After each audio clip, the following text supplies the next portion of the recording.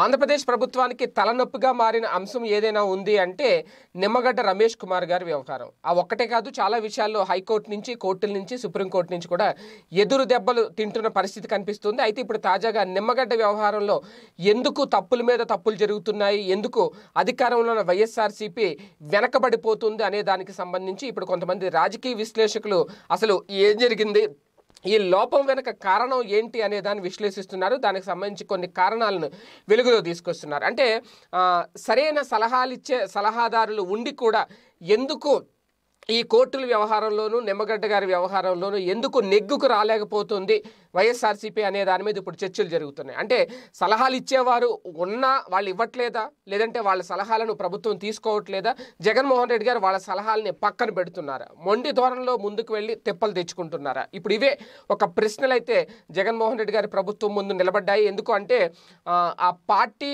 పూర్తిగా జగన్మోహన్ రెడ్డి గారి చేతిలోనే ముందుకు వెళ్తోంది. కాకపోతే ఆ పార్టీని నమ్ముకుని ఉన్నవాళ్ళు ఆ పార్టీ కోసం కష్టపడిన వాళ్ళు ఆ పార్టీని పైకి తీసుకురావడానికి కృషి చేసిన వాళ్ళు చాలామందే ఉన్నారు. వాళ్ళందరూ కూడా ఇప్పుడు సోషల్ మీడియా వేదికగా వాళ్ళ ఆవేదనను పంచుకుంటున్నారు.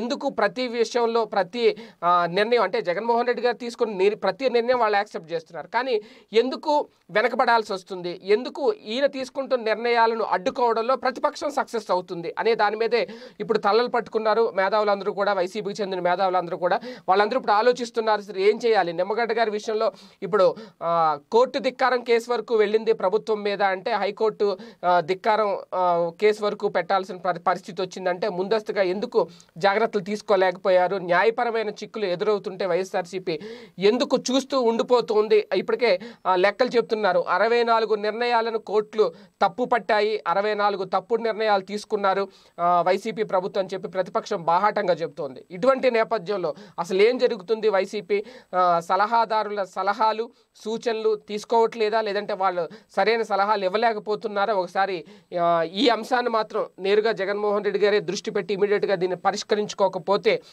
ఇంత స్థాయిలో నూట యాభై ఒక్క స్థానాలు దక్కించుకున్న వైఎస్ఆర్సీపీ ఆంధ్రప్రదేశ్లో అధికారంలో ఉండి కూడా అసలు ఏం చేస్తుంది? భవిష్యత్ ఏంటి అనేది ఇప్పుడు ఆ కింది స్థాయి నేతలు నాయకులు వీళ్ళందరూ కూడా ప్రశ్నించుకుంటున్న సందర్భం. మరి దీని మీద జగన్మోహన్ రెడ్డి గారు ఏమన్నా క్లారిటీ ఇచ్చే ప్రయత్నం చేస్తారా? దాన్ని క్లియర్ చేసుకునే పరిస్థితి ఏమన్నా ఉందా? ఏంటి అనేది కూడా వేచి చూడాల్సిన అంశం అంటున్నారు రాజకీయ విశ్లేషకులు. ఈ వీడియో గనక మీకు నచ్చినట్లయితే లైక్ చేయండి షేర్ చేయండి. మరిన్ని వీడియోస్ కోసం మా ఛానల్ను సబ్స్క్రైబ్